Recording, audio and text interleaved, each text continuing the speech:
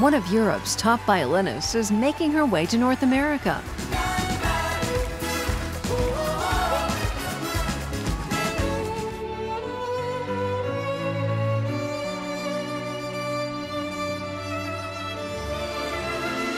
Watch Assia live in concert, a music extravaganza.